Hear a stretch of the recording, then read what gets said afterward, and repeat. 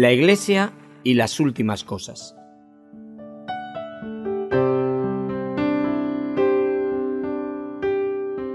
Un estudio expositivo sobre el fin de los tiempos a cargo del siervo de Dios, Loel Bruckner.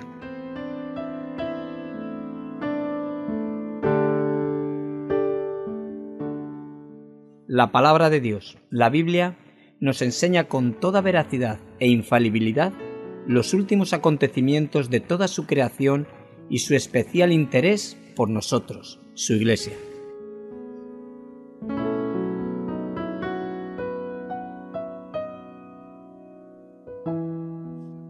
Entonces habrá señales en el sol, en la luna y en las estrellas, y en la tierra angustia de las gentes, confundidas a causa del bramido del mar y de las olas, desfalleciendo los hombres por el temor y por la expectación de las cosas que sobrevendrán en la tierra, porque las potencias de los cielos serán conmovidas.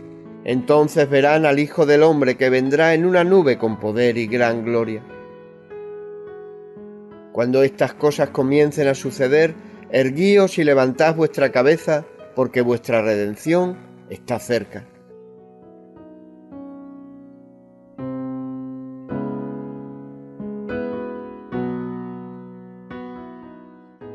La Iglesia y las últimas cosas. En Luz a las Naciones, canal cristiano de comunicación, ponemos a tu disposición la palabra de Dios.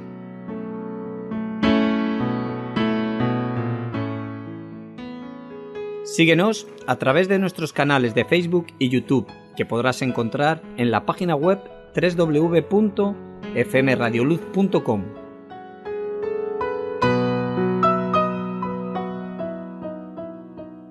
Si necesitas más información, los puedes llamar al teléfono gratuito 910 18 13. La Iglesia y las últimas cosas. Mas el fin de todas las cosas se acerca. Sed pues sobrios y velad en oración.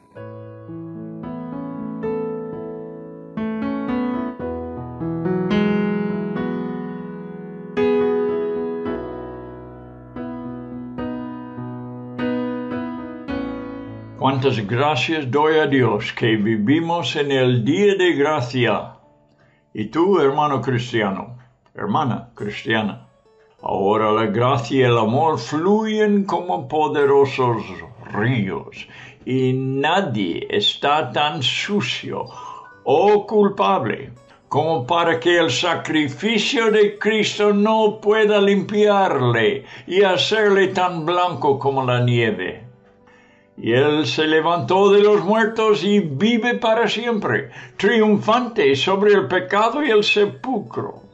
Se sienta a la diestra del Padre, un sumo sacerdote inmortal, cuya intercesión para el creyente no puede fallar. Si tú tienes cualquier duda sobre tu lugar bajo el nuevo pacto, te invito a venir a Jesús en este momento un pecador oró así, yo no sé venir y tú no sabes venir y ni puedo darte instrucciones. Esto es algo que tú puedes hacer en la profundidad de tu corazón. Lo que dijo este pecador, yo no sé venir, pero si me aceptas, vengo en este momento. Uno viene por fe no por su inteligencia, no por lo que sabe. Es un acercamiento de corazón del espíritu del hombre clamando a su Dios por el perdón, por una buena relación con Él, con una reconciliación. Ah, estamos viviendo en esos días. Oh, invito a cualquier persona que escucha, no sé, cómo vienes a escuchar este programa, tú sabes las circunstancias y solamente puedo sugerir que no ha sido circunstancias, sino el Padre es quien atrae las personas a su Hijo Jesucristo.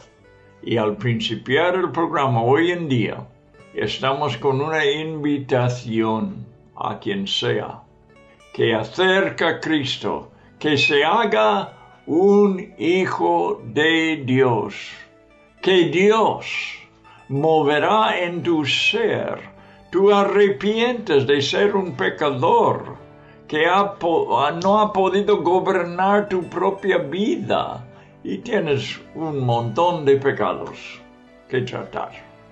Bien, trae todo a los pies de Jesús, al pie de la cruz, donde Él hizo el sacrificio necesario para que tú seas perdonado y tus pecados serán echados en el más profundo mar, como dice un profeta, y otro profeta dice que los pecados los tira tras sus espaldas.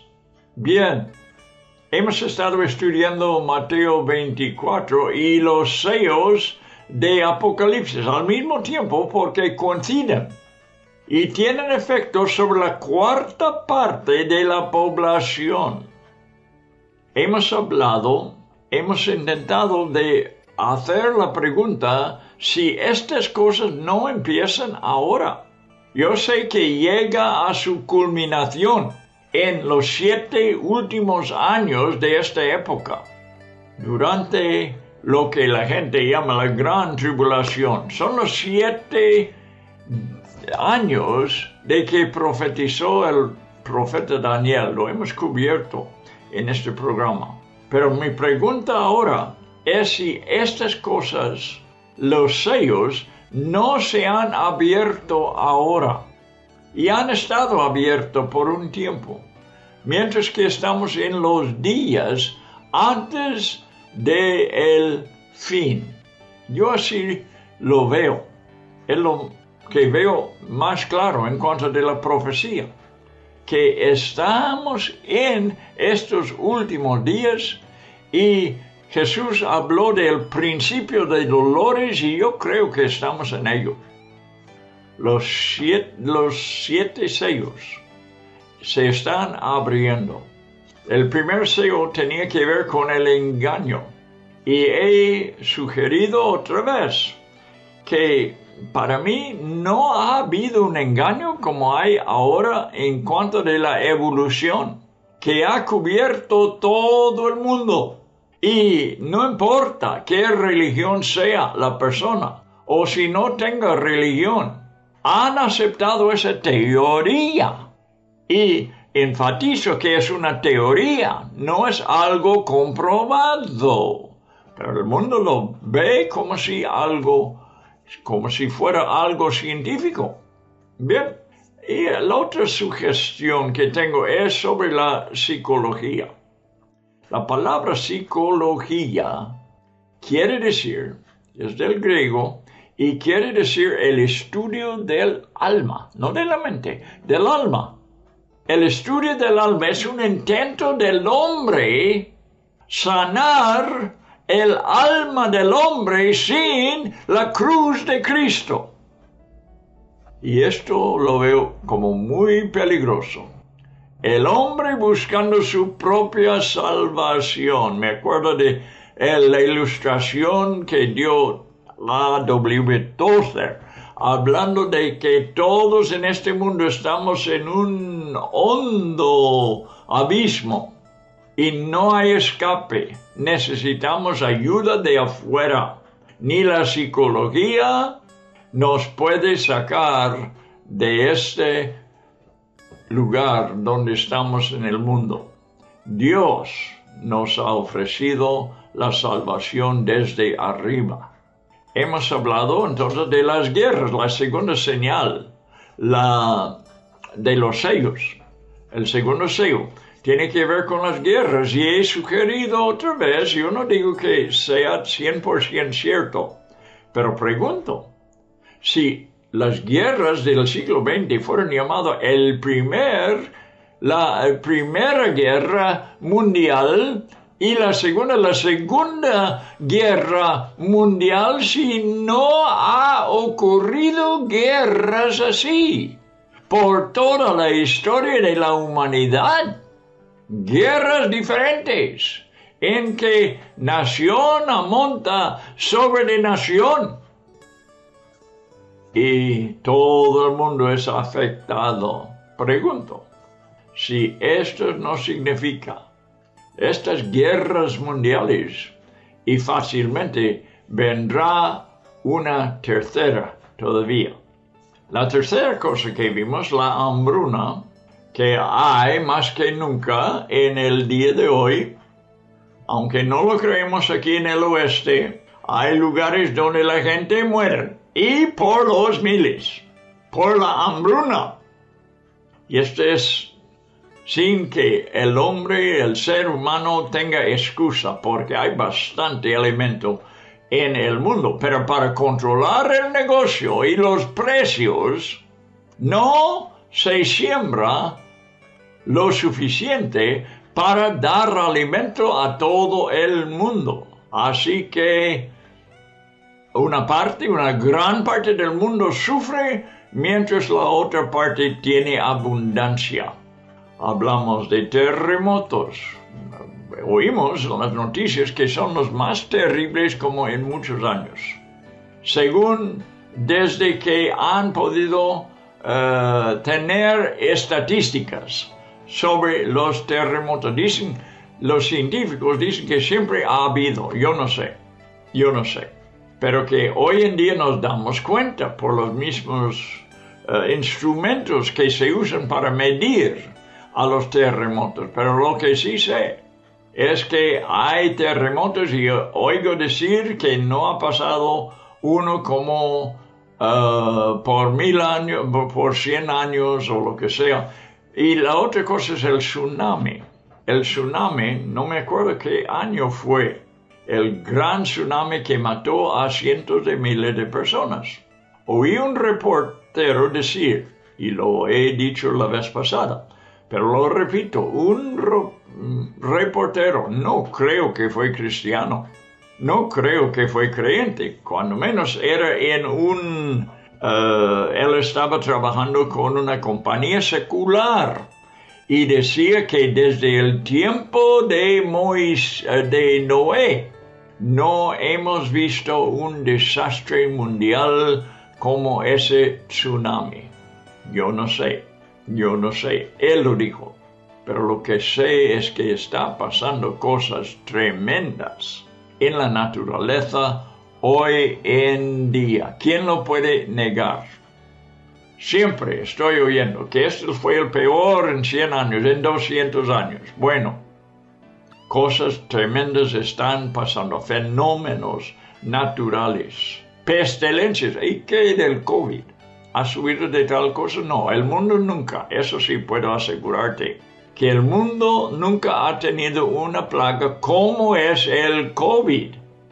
Ahora tú dices, sí, siempre ha habido plagas, sí, pero no de esta naturaleza, no de este tipo, que fue producido.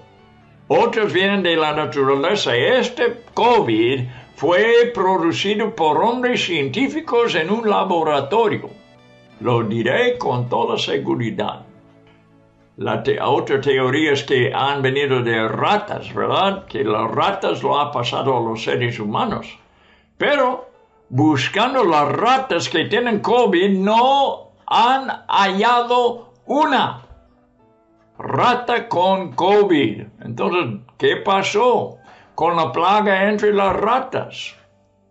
No, no, no, no fue producido en un laboratorio y ha caído sobre la humanidad de una forma que, bueno, que, que, bueno, que ha causado millones de muertos y ha pasado, eh, tiene esas características raras que no sé de otra enfermedad igual, cómo afecta el cuerpo en diferentes maneras según la persona que lo contagia. Otra cosa que vemos en estos días, pobreza por la devaluación del dinero. Ahora estamos en una crisis mundial. Hay una devaluación del dinero.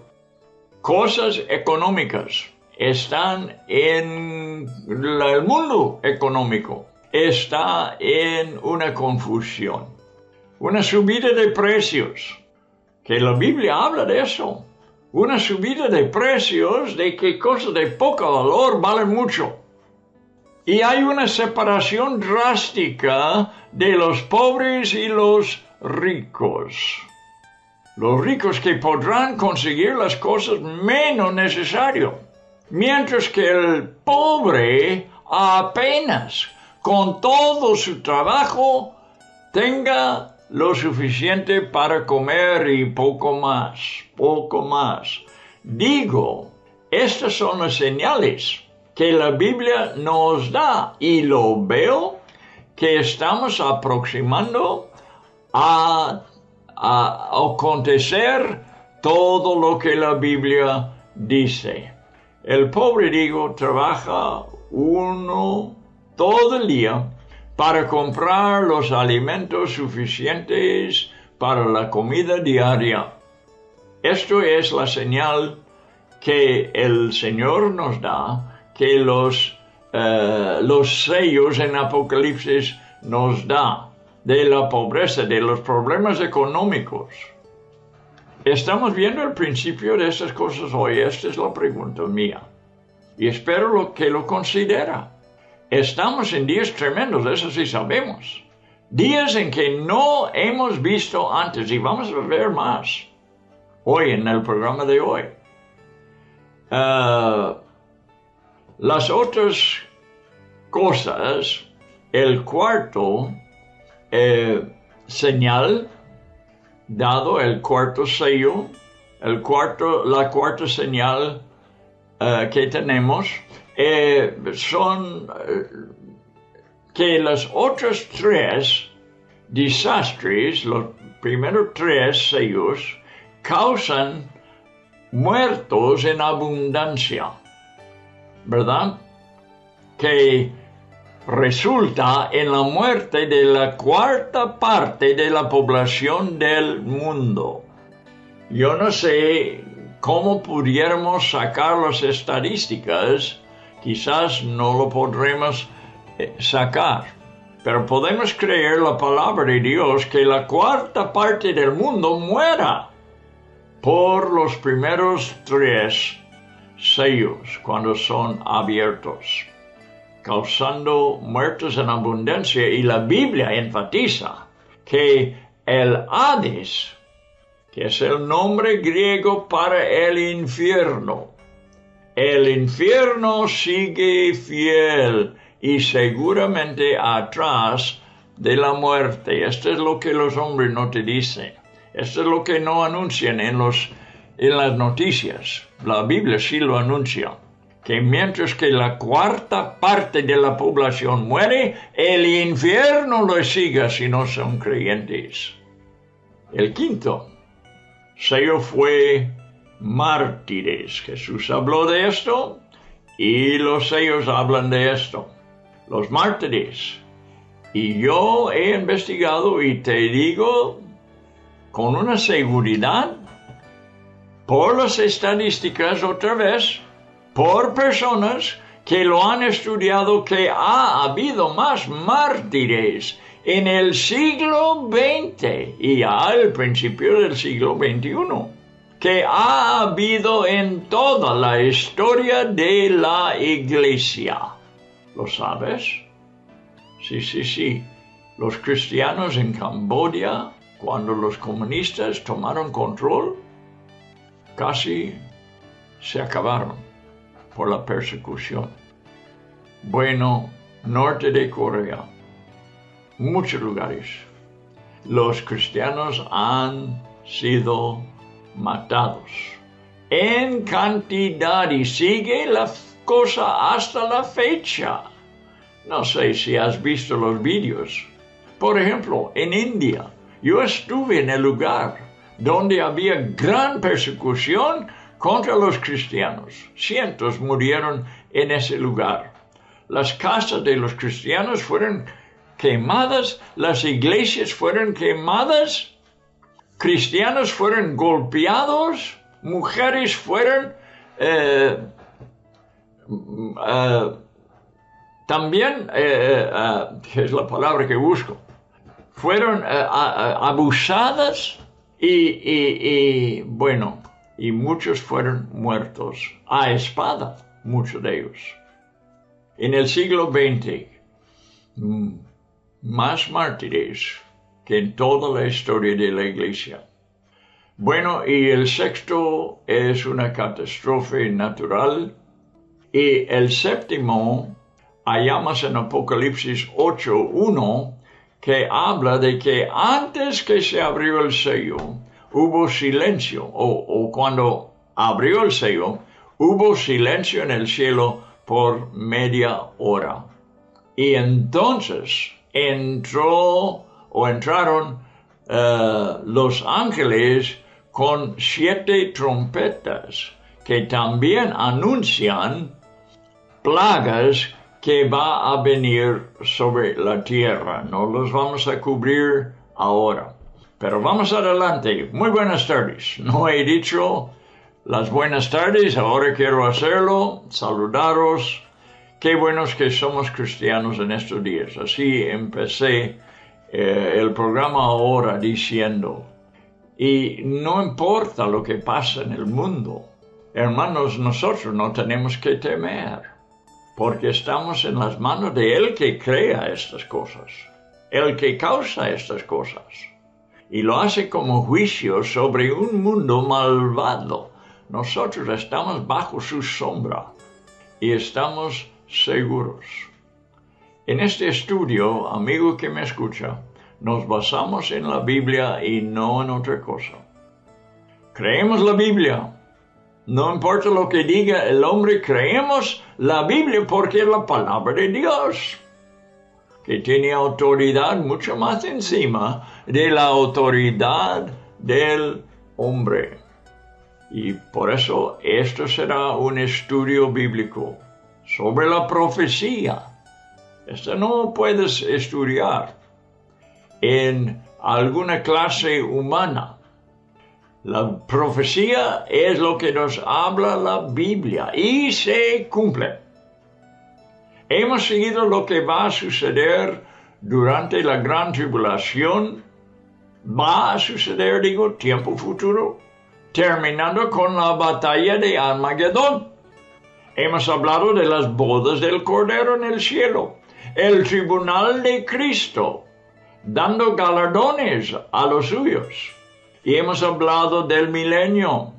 Continuando un poco con más con la profecía del gran trono blanco la vez pasada.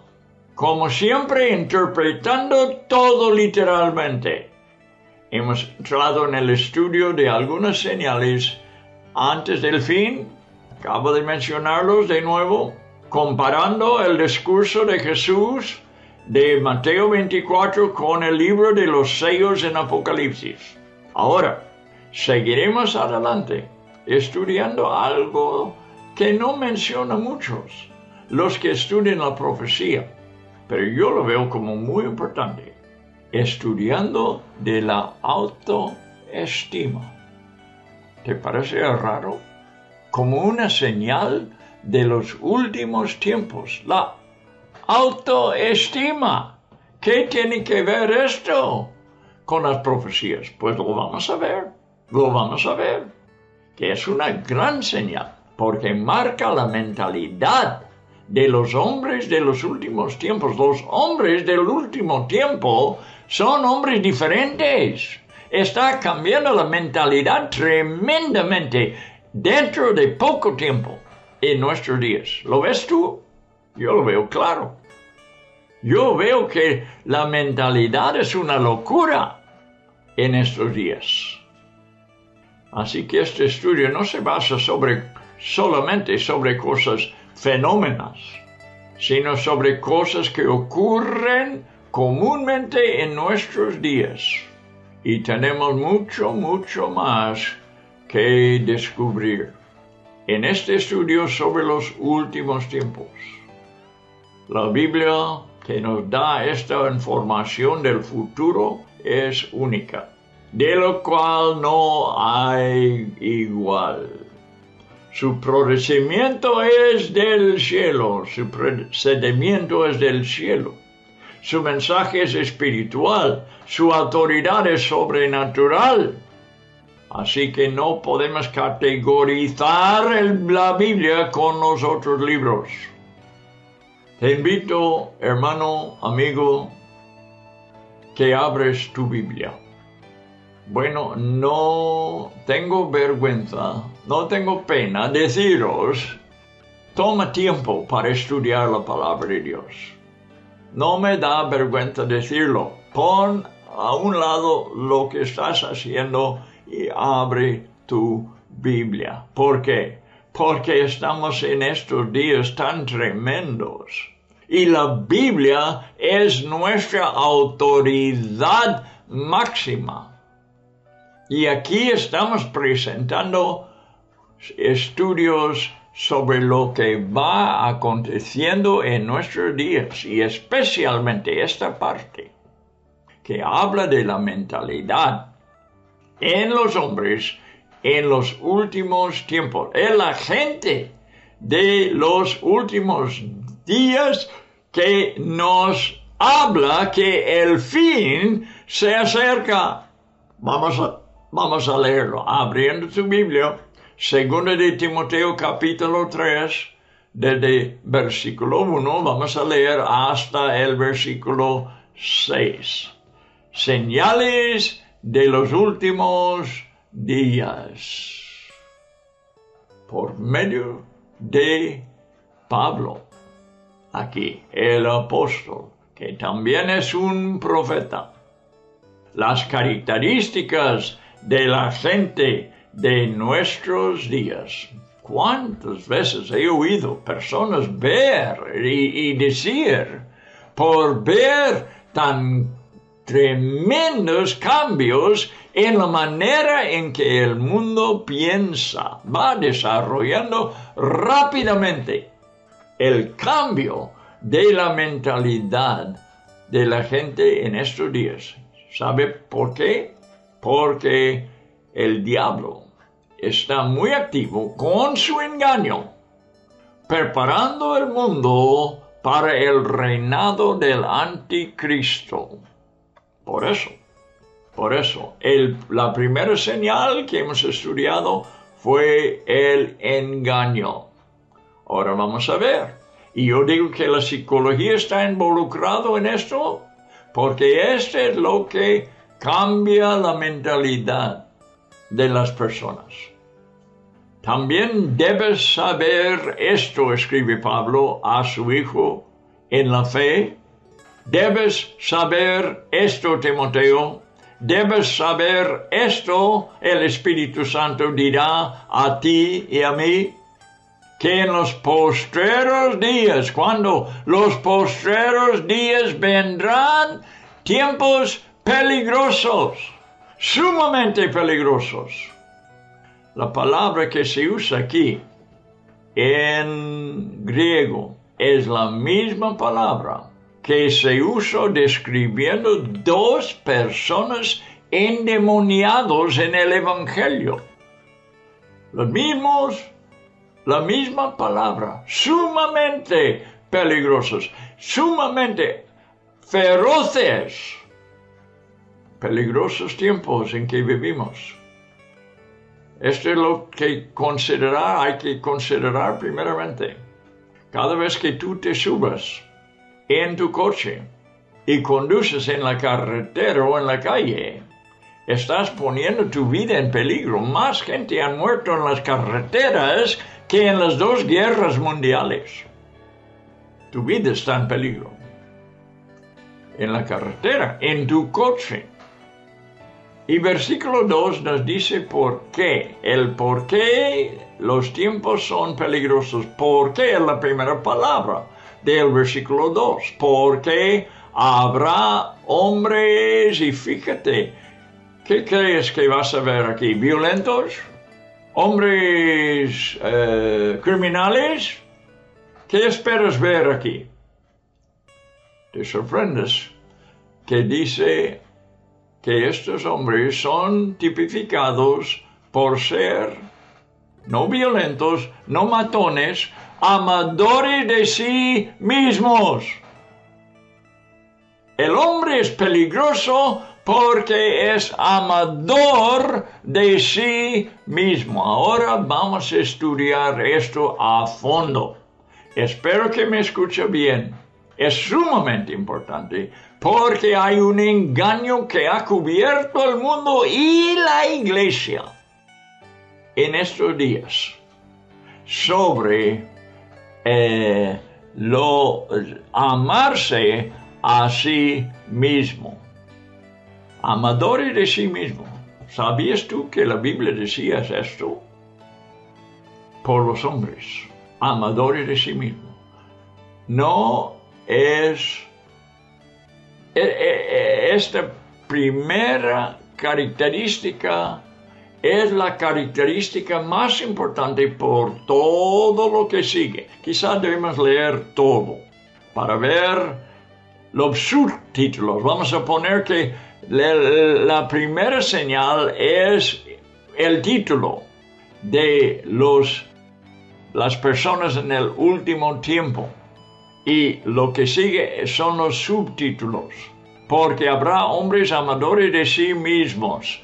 Esa es la, el título de lo que estamos estudiando. Ahora los subtítulos, avaros, vanagloriosos, soberbios, blasfemos, desobedientes a los padres, ingratos, impíos, sin afecto natural, implacables, calumniadores, intemperantes, crueles, aborrecedores de lo bueno traidores, impetuosos, infatuados, amadores de los deleites más que de Dios. El juego. Que tendrán apariencia de piedad, pero negarán la eficacia de ella. A estos evita.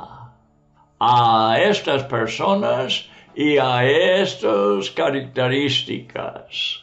Bien, hombre será amador de sí mismos es un peligro. Les hace violentos en extremo, extremadamente feroces como los endemoniados del libro de Marcos, de Mateo. Por ejemplo, niños están en peligro en los senos de sus madres. ¿Lo has visto así? Ese es el lugar, según la naturaleza, según la creación de Dios. El seno de los madres debe ser el lugar donde los fetos son protegidos. La naturaleza los protege allí. Todo es ordenado para su seguridad según la naturaleza, según la creación de Dios. Les da alimento mientras que está en el seno. Les provee todo para su vida. Mi madre necesitaba una operación de inmediato por su propio bienestar cuando estaba embarazado yo fui el feto. A mí me importa mucho este tema, porque un doctor aconsejó que mi madre debiera considerar un aborto de inmediato, porque su propia vida estaba en peligro durante su embarazo.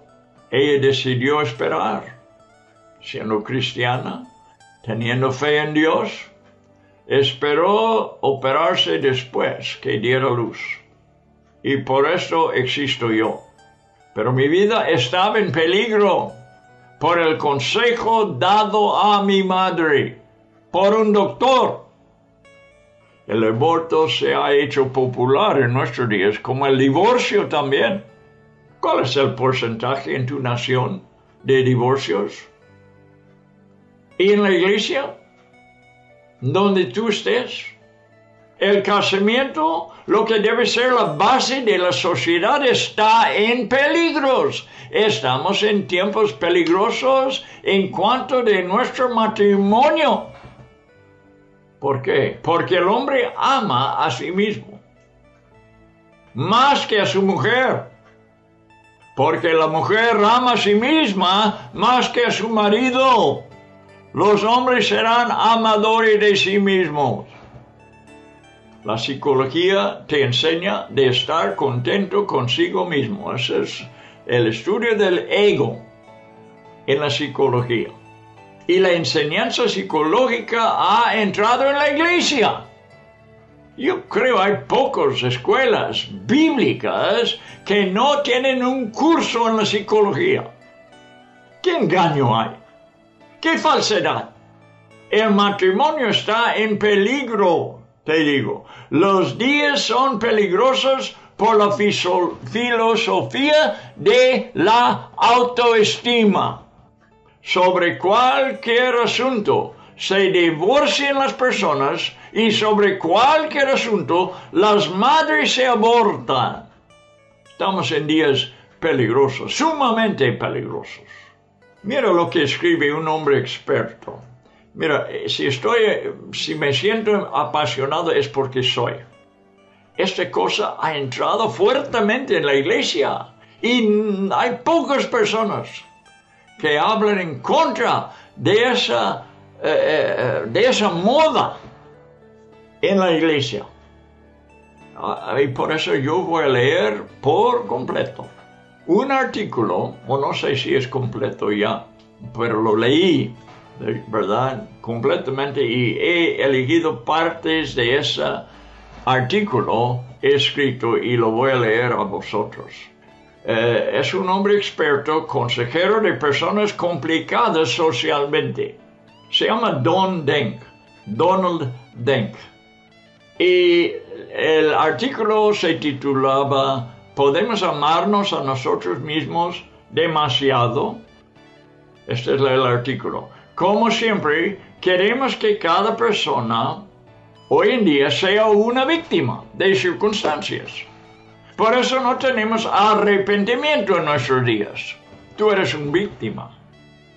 Esa es la mentalidad de hoy. Aún el criminal es una víctima, pobrecito. Tenemos que tenerle compasión y, ayudarle más que su propia víctima que él ha dañado. Parece que hay más simpatía pública para el criminal que para la víctima de los crímenes en nuestros días. Hay una locura en el mundo. El amor propio es la filosofía del anticristo, te estoy diciendo. Y esta filosofía prepara a la gente para su reinado. Ahora vamos a ver lo que dice este consejero. Espero que pone todo a un lado y escuche esto porque es sumamente importante para tu vida espiritual y para cómo tú ves las cosas. Escucha. Tengo que confesar que desde un principio, dice él, me amo a mí mismo. Yo también. ¿Y tú? La mayoría de la gente se aman a sí mismos, pienso yo. Aun aquellos que se quejan y aparenten que tienen una baja autoestima. Lo que más me preocupa es cuando se dice que tengo que amarme más y necesito mejorar el concepto de mí mismo y ser autorrealizado, porque un concepto bajo de mí mismo es la fuente de todos mis problemas. Tienes que amarte a ti mismo antes de que puedas amar a otros. Cuando yo consejo, cuando yo, no, es tiempo de echar un vistazo a la psicología del yoísmo, egoísmo, ha sido adoptado como enseñanza cristiana, cuando en realidad es una enseñanza pagana. Se armoniza con la enseñanza de las escrituras sobre el tema, sobre el tema de sí mismo, sea la carne y sus problemas y la solución a sus problemas. Cuando yo aconsejaba intensivamente como profesor en una universidad cristiana, Hablé un día con Doug, como había hecho muchas veces anteriormente. Otra vez, él se sentía deprimido en cuanto de sí mismo, sobrecogido por sus propias faltas. Estaba socialmente inadecuado, pensaba, y parecía estar en su propio mundo. En previas ocasiones intenté ayudarle a mejorar el concepto de sí mismo. Durante un tiempo tuvo efecto, pero en poco tiempo volvería a quedarse hecho polvo. Esta vez fui impresionado al ver a Doug demasiado autoabsorbido. Su problema verdadero estaba en que era muy orgulloso indispuesto a aceptar quién era en realidad, defectos y todo. Y por eso estuvo perdido en su autocompasión. Doug le dije, yo pienso que tu problema en ninguna manera es la baja autoestima. Creo que en verdad eres algo orgulloso. La razón por la que sientes inadecuado y desventurado a veces es porque esa es la realidad. Así eres. Como también nos pasa a todos nosotros. ¿Por qué no aceptas sencillamente quién eres y sigues con tu vida? Olvídate por un rato de ti mismo e interésate con otra gente y sus asuntos. La mirada en la cara de Doug fue cambiando de sorpresa a horror, después a incredulidad y finalmente a una sonrisa. Nunca antes había oído consejos como estos. Seguramente no esperaba escucharlos de mí. Pero mientras continuábamos charlando, sus ojos empezaron a brillar y una libertad nueva vino sobre él, la libertad que viene por echar un vistazo honesto a ti mismo por primera vez. La autopreocupación le tenía esclavizado. ¿Cuánta gente ha sido aconsejada hacia un camino de reflexión, buscando sentirse mejor en cuanto de sí mismo, solo para después estancarse, a veces por meses y años, en una red oscura de autoabsorción. Un libro examina esta moda actual. La psicología se llama como una religión de autoadoración. Es un libro. Es publicado por, una, por la publicidad Hermans y señala cómo esta, esta ha penetrado en nuestra cultura, lenguaje y aún en las instituciones cristianas. La vemos en el quebrantamiento de casamientos, cuando un marido o la esposa siente que le falta algo y no encuentra una satisfacción perfecta en la relación con el otro, entonces va buscando otra persona que le llene y le satisfaga por completo. Ha aprendido a pensar, no tengo el derecho exclusivo de sentirme totalmente satisfecho. Nuevos estudios revelan que el error más común en el concepto propio que la gente tiene no es una baja autoestima, sino una tendencia de servirse exclusivamente a sí mismo. No es un complejo de inferioridad, sino al contrario, un complejo de superioridad. El autor apoya sus conclusiones con estudios y que indican que la mayoría de la gente se estiman a sí mismos como personas mejores que el promedio, en casi todos los aspectos. ¿Podemos nosotros, todos nosotros ser mejor que el promedio? la mayoría de los negociantes se creen más éticos que el promedio de negociantes. La mayoría de los americanos, porque este estudio fue hecho en América, se consideran a sí mismos como más inteligentes de lo normal. No todos pueden ser, en la mayoría, la mayoría de la gente no puede ser más que otras personas intelectualmente. Por ejemplo, otra vez, un amigo, Larry, fue víctima de la autocompasión. Estuvo amargado por sus limitaciones como persona. Constantemente sentía que merecía más. La falta de disposición a aceptarse con sus fallos reveló su orgullo interior. Muchas veces él hacía comentarios de autodesprecio, solo para provocar un halago de alguna otra persona. Quizás nuestro problema básico no es una baja autoestima. No es que no nos amamos a nosotros mismos suficientemente. Al contrario, somos predispuestos al egoísmo, orgullo y autoadoración.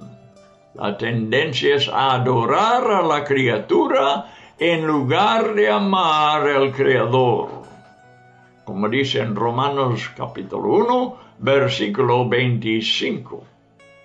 Pues si la Biblia contradice toda esa, esa mentalidad. Segundo de Timoteo 3, lo estamos estudiando, pero el autor, el, el que aconseja, está diciendo, el que escribió este artículo, en los últimos días los hombres serán amadores de sí mismos, más que amadores de Dios. Pablo dispone que los maridos deben amar a sus esposas como a sus propios cuerpos. Efesios 5, 28, 29, porque ningún hombre odia a su propia carne, dice la Biblia. Esto no indica que tenemos un problema en amarnos. Las escrituras nos llaman a separarnos de la preocupación con nosotros mismos para poder amar a otros y a Dios. El orgullo es un cáncer espiritual que consume hasta la posibilidad de amar, de estar contento con lo que uno tiene y el sentido común, que es lo que hace falta en el mundo hoy en día el sentido común ya no es común. El orgullo nos guía a los otros vicios. Es una mentalidad de estar anti Dios. Sin embargo, raras veces escucho a un consejero, aún entre los cristianos, sugerir que el orgullo puede ser la fuente de los problemas que alguien tenga. Hoy en día no es sorprendente que muchos tomen el mandamiento del Señor de escucha, amar a tu prójimo como a ti mismo, y lo cambie totalmente, dándole un sentido contrario, enseñando que uno debe amarse más a sí mismo. No es así, yo pongo, tomando una pausa en la lectura, y, y Quisiera hacer la pregunta, ¿no es así como hace el diablo siempre? tomando un verso de la Biblia y torciendo hasta que quiera decir lo contrario a lo que el Señor quiso que significara, es obra del diablo. No es menos, esa doctrina no es menos que una doctrina de demonios. Jesús reconoció simplemente un hecho de la humanidad, que sí, nos amamos mucho a nosotros mismos. Esa es la tendencia normal y natural. No es el problema. El problema lo tenemos en amar a nuestro prójimo. Sin embargo, me dicen que si tengo problemas en amar a mi prójimo es probablemente porque no me amo a mí mismo lo suficiente. Sospecho que el problema verdadero es que nos amamos demasiado a nosotros mismos. Otra manera en que la doctrina cristiana ha sido influenciada por la psicología del egoísmo se manifiesta en el argumento siguiente. El hecho de que Cristo murió por nosotros prueba que somos de mucho valor. Tenemos que tener algo verdaderamente maravilloso en nosotros, si a Dios le hizo fácil amarnos y aceptarnos. Entiendo que hay un poco de verdad en decirlo, Pero mucho más prefiero el dicho, y escucha esto. Dios no nos ama porque seamos valiosos, sino que somos valiosos porque Dios nos ama. La hermosura del Evangelio cristiano es que siendo aún enemigos, pecadores, malos, Cristo murió por nosotros. Romanos 5, 8. Dios nos vio tal y como éramos, desventurados, arrogantes, no merecedores, y sin embargo nos amó. ¿Qué es lo que pasa? me interrumpo otra vez el estudio. Esto ensalza el amor y misericordia de Dios como hizo la mujer gentil, a la que Cristo había nombrado como un perrillo, pero ensalzaba la misericordia de Dios. Cuando nosotros levantamos al hombre, bajamos el amor de Dios. No puede ser otra cosa. Esto es algo por lo cual podemos sentirnos bien. Bien bueno, debo terminar, hay todavía falta y la cosa muy interesante de cómo Dios trató con Moisés, exactamente como este asunto que estamos hablando. Espero que este ha sido algo que te despierta ahora. Quizás no lo necesitas. Quizás ya hasta has descubierto quién eres tú, quién soy yo pecadores, indignos en todo sentido, merecedores del infierno y no del cielo. Eso somos. Bueno, el cristiano lo debe saber, pero por el engaño que entra, aún para los niños. Puedes comprar tus grabaciones donde te enseña tu hijo a amarse a sí mismo. Y se usa siempre el mismo texto. ¿Cuál? Amarás a tu prójimo como a ti mismo. Jesús enseñándonos a amar a nuestro prójimo, pero los hombres toman el versículo y lo ponen en marcha atrás. Que nosotros tenemos que amarnos a nosotros mismos para amar a otros. Esta es una mentira, es un engaño. Y vamos a seguir con esa lectura de ese hombre experto que ha descubierto, que ha despertado a la moda de nuestros días que ha entrado en la iglesia. Yo lo hallo donde quiero. He estado en convenciones compartiendo la palabra en que otras personas compartiendo hablaban del amor propio, que tenemos que tener un alto autoestima. Yo hablo el opuesto. Y si contradigo lo que dicen ellos, no me importa porque la verdad es que somos pecadores, inmerecederos de todo lo que podemos recibir de Dios. Bueno, amigo, espero que esto sea una ayuda, si no en tu propia vida, porque estás convencido de esto, de lo que he hablado.